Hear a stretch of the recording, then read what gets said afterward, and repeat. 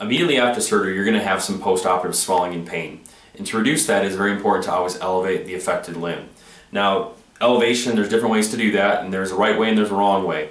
Uh, the wrong way is always anything lower than your waist. So people will often find like an ottoman, and obviously we have a chair here, but they'll find an ottoman or a footstool they have in their house and put their foot on that. Unfortunately, that's not high enough because the foot is not higher than the waist, and blood is actually going to rush to the foot because of gravity and not back to the core. Some people will also sit in a recliner chair at home, they'll get their feet up and think that that's enough, but again, that, that, that foot is not above the waist. So we always recommend that foot at immediate post-operative period be at the level of the heart. And by doing so, that blood will rush back to the core, so you can see my heel is higher than my waist.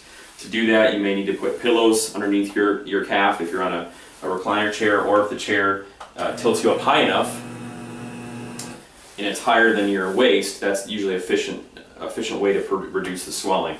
If you're sleeping, it's always a good idea to put two pillows underneath your leg, especially during the first few weeks after surgery, to help that to drain more efficiently.